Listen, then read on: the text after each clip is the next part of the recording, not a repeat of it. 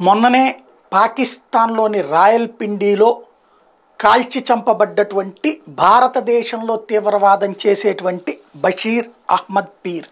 వాడి అంత్యక్రియల సందర్భంగా సయ్యద్ సలావుద్దీన్ వాళ్ళ గజ తీవ్రవాది ఎప్పుడైతే బయటకు వచ్చి బహిరంగ బహిరంగ ప్రసంగం చేశాడో ఇప్పుడు ఈ విషయాన్ని భారతదేశం ఎఫ్ఏటిఎఫ్ వాళ్ళకి పంపించింది.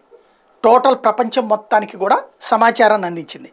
తీవ్రవాదులకి ఆయుధాలు ఇస్తూ సొమ్మిస్తూ వచ్చినటువంటి హిజ్బుల్ చీఫ్ వీడు పంతొమ్మిది వందల ఎనభై తొమ్మిదో సంవత్సరం నుంచి పాక్లో ఉండి భారతదేశంలో తీవ్రవాద కార్యకలాపాలు చేస్తున్నాడు అన్నటువంటి విషయాన్ని ప్రపంచానికి తెలియజేసింది మరొకసారి గుర్తు చేసింది ఎఫ్ఏటిఎఫ్ నిబంధనల నుండి ఎందుకు తీసేశారు అంటూ ఇప్పుడు భారతదేశం అడుగుతోంది.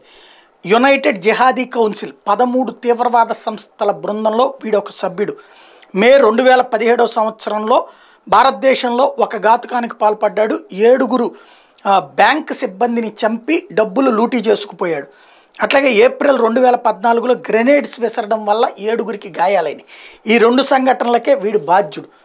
రెండు వేల పద్దెనిమిదిలో ఈ రెండు వేల పదిహేడు ఇన్సిడెంట్స్ తర్వాతన రెండు వేల పద్దెనిమిది నాటికి ఎఫ్ఏటిఎఫ్లో భారతదేశం ఇచ్చినటువంటి లెక్కల కారణంగా పాకిస్తాన్ ఆనాడు బ్లాక్ ఇది గ్రే లిస్ట్లోకి వెళ్ళింది. బ్లాక్ లిస్ట్లోకి వెళ్ళనీయకుండా నాలుగేళ్ళ నుంచి చైనా ఆపుతూ వచ్చింది. అదే సందర్భంలో గ్లే గ్రే లిస్ట్ నుండి తొలగించడానికి మొన్న అమెరికా సహకరించింది. ఇప్పుడు పరిస్థితి ఏంటంటే వీడు బహిరంగంగా భారతదేశాన్ని విధ్వంసం చేస్తామని చెప్పిన నేపథ్యంలో భారత్ మరొకసారి ప్రపంచం దృష్టికి తీసుకెళ్ళింది. మరి ప్రపంచ దేశాలు ఏం చేస్తాయో చూడాలి.